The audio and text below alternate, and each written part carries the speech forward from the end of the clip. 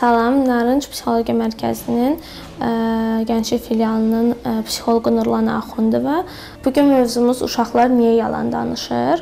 Əslində ə, bir çox səbəbləri var ə, və həmişə yaşa nəzarət eləmək lazımdır. 4 yaşa qədər uşaqlar əgər ə, yalan danışırsa, o artıq yalan sayılmır. Əgər 5 yaşından sonra uşaqlar yalan danışırsa və onun üzərinə gələrək məsəl üçün uşaqlar üzərinə su dağıdırsa və ya dırnaq yeyirsə, valideynlərinin sözünə riayət eləmirsə, o artıq davranış pozuntusu ilə əlaqədar olaraq yalan danışdıqlarını göstərir. O zaman psixoloqa müraciət eləmək lazımdır. Çünki yalanların da səbəbi var.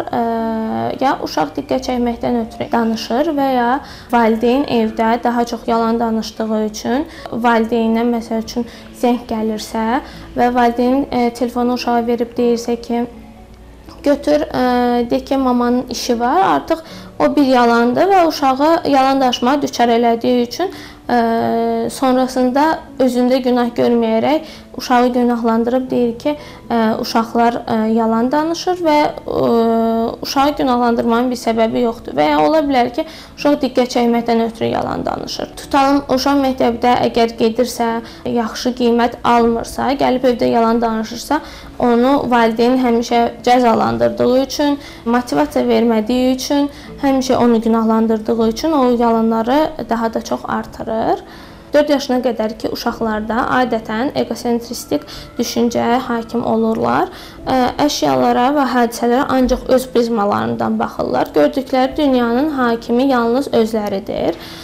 Canlı cansız varlıqları tam ayırd edə bilmədikləri üçün, özləri canlı olduğu üçün onların nəzərə yetirdiyi hər şey canlıdır.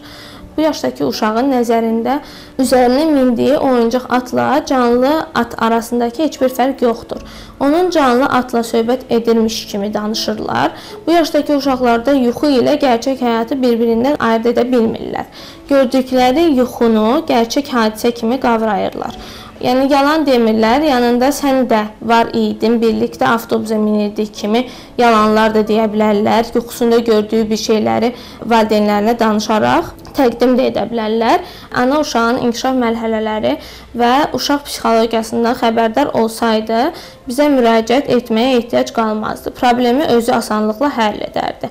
Yalan danışmaq davranış pozuntusudur. Uşaqlar əsasən diqqət qazanmaq üçün yalan danışırlar. Heç bir uşaq istəyərək və bilərək yalan danışmır. Məktəbdə əgər dərslərindən müəlliməsi şikayət edirsə və deyirsə ki, uşaq dərslərində zəifdir, ola bilər ki, tək yalandan kənar e, hiperaktiv olduğu üçün diqqətini bir yönə yönəldə bilmir və ona görə də müəlliməsi şikayət edə bilər və o da evə gələndə artıq bir yalan danışmaq məcburiyyətində qalır. Valideyn ona həmişə dediyi üçün ki, sənə ağır cəzalar verəcəm və e, yalan danışan uşağı cəza ilə düzəltmək biraz mümkün deyil. Ən əsası da valideynlər heç vaxt cəmiyyət içində uşaq yalan danışanda onu təhqir etməməlidir. Çünki uşaqlar bilərəkdən yalan danışmır. Onu cəmiyyət içində aşağılamaq və ya artıq bir söz demək uşaqların özgüvənini də eləcə aşağı salır. Ona görə də onunla düzgün şəkildə gedib evdə davranışlarına görə, hansı hərəkətinə görə yalan danışdığını onunla danışsaz və aşkar eləsəz ona daha asan olar və o onu aydınlaşdıra bilərsiniz ki, o orada səhv edib. Valideyn özü düzgün davranışlara riayət eləməlidir ki, uşaqda yalanlardan istifadə etməsin.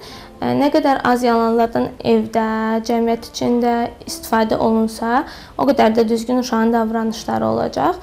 Ona görə də çalışın ki, yalan danışmayasınız.